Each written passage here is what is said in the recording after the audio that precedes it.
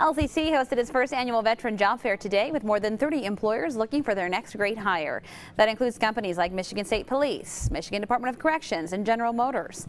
Veterans, transitioning military personnel, current members of the Guard and Reserve, along with their spouses, were invited to attend. So we're seeing more uh, coming to us. I mean, specifically for the fall semester, we had about 60 new students for the fall come in. So that, that tells me that they're they're getting out uh, and they're they're seeking school or they're seeking employment.